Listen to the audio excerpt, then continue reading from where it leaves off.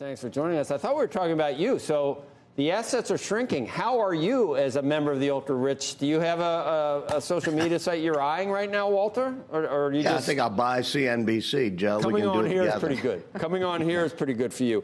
Um, Correct.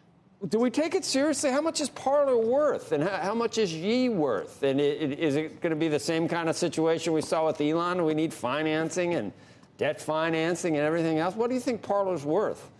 I think Parler is a niche player that becomes more niche if this happens. And this is pretty interesting because what you're going to see, or what you're seeing, is a fragmenting of uh, social media.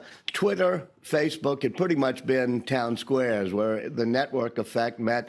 If uh, you wanted to be on it, you wanted everybody else to be on it. You wanted to be on a place where you could hear many people. Now, if you're going to have so many different truth socials and Parlers, that's a probably a bad thing. I think it would be good for uh, the country and for our society to have uh, a few big places where it serves as a town square where people can talk to people of different uh, opinions. I mean, Parler will end up being for people be an echo chamber for people who agree with uh, that viewpoint. Same with Truth Social.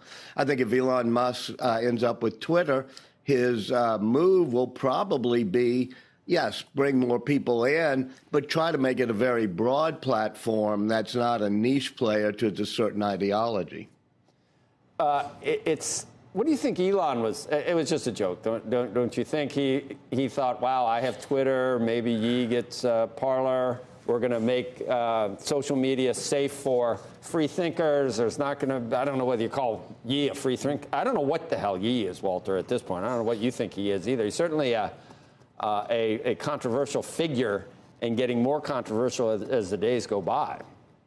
Yeah, I'm not an expert in Kanye West, and uh, I'm not, I don't follow him quite as closely as most people do. He seems like Me a neither. troubled individual, and it's right. a bit of a problem. The uh, the the latest on uh, on Elon is is what? You you've got your finger on the pulse of that. Well, he says that he's going to proceed with this purchase, and I suspect he will. He has the financing lined up.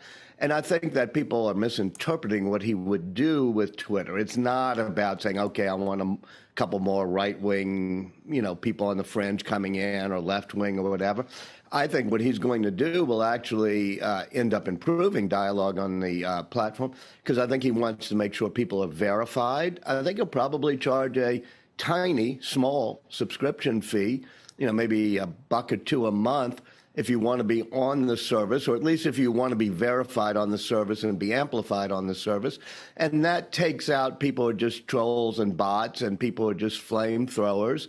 And I think that he's going to want to make it more like WeChat or uh, other platforms in which you can pay for content. And so things that are valuable will actually rise to the top if you have somebody who's going to do his original vision for what he called X.com that became PayPal, which is have a system in which you have a payments platform on a social network like Substack tries to do with good writers and say, we're going to incent good, valuable content that people will pay for.